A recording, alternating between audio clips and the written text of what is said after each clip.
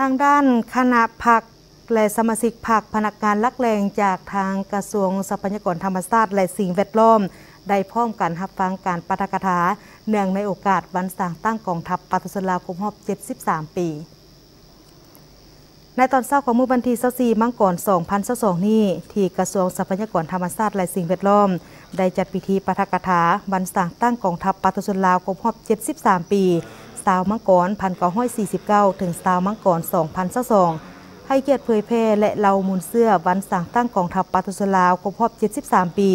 โดยแมนสหาย ไซนคร อินทวงศ์หองเลขาคณะผักหองรัฐมนตรีกระทรวงทรัพยากรธรรมชาติและสิ่งแวดล้อม เข้าร่วมรับฟังปาฐกถา โดยมีทางคณะประจำพักคณะพักคณะพักหักฐาน สมาชิกพักพนักงานลักเลงของกระทรวงดังกล่าวนี้เข้าร่วม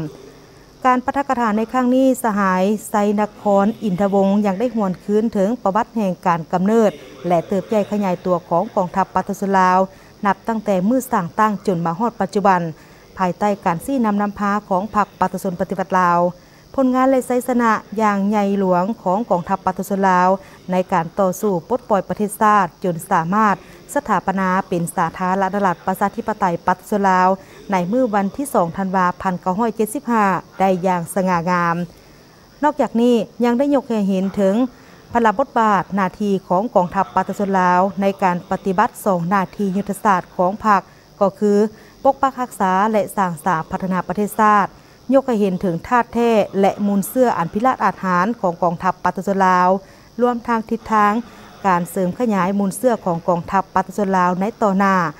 ซึ่งการปาฐกถาในครั้งนี้ก็เห็นได้ว่ามีบรรยากาศดี และเหตุให้สมาชิกภาคพนักงานลักแรง ภายในกระทรวงทรัพยากรธรรมชาติและสิ่งแวดล้อม ได้มีความเข้าใจอย่างลึกซึ้งต่อกับประวัติความเป็นมา